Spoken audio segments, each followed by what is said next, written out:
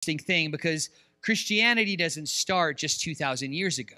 Christianity starts with the story of man and God, and really the idea of God connecting with man and breathing life into man, and then man's relationship back to God. And that's why throughout Scripture we see this continual story of mankind's connection to God and our relationship with Him. And it is that it's Him and our relationship to Him, not the other way around. And, and that's important because if it was the story about man and God, that's a different thing because we become the center role of the story and we're not the center role of the story. He is.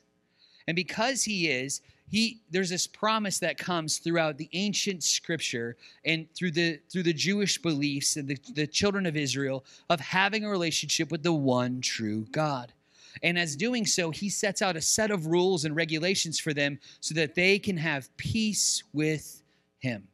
Now, they have choice. He gives us choice. And people, way back in the very beginning of Genesis, they make a choice to step away and turn away from their relationship with God. They sin against him. It means to miss the mark.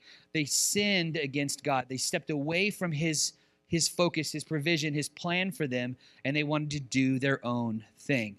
Sounds familiar, doesn't it? And so throughout scripture, we see that over and over and over again, where time and time again, the children of Israel, the set apart people of God, choose not to follow the will of God and not the ways of God and try to do their own thing. And it always ends in disaster. It always ends in disaster. And so they they needed a way, they needed a way for them to be white, clean of their sin or made righteous, made holy before a holy God. See, God is holy. It means he's sinless. It means he does not make a mistake. And the thing is, we are broken people, and therefore we do. And so we, to communicate with a holy God, need a holy sacrifice.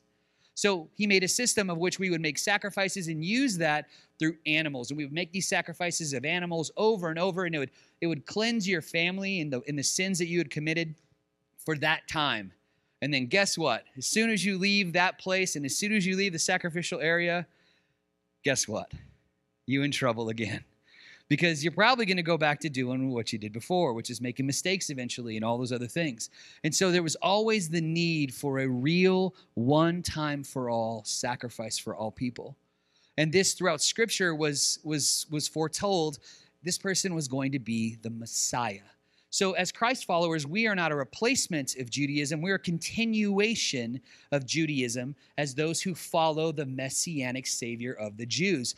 We follow the Christ. So that's who we are as we are grafted into the tree that goes way back into ancient roots. That's who we are. So when people talk about following an ancient religion, friends, if you're a Christ follower, you are following an ancient religion. It's as ancient as ancient as ancient. It's not as old as the United States or as old as Europe. It goes way back to the beginning of time.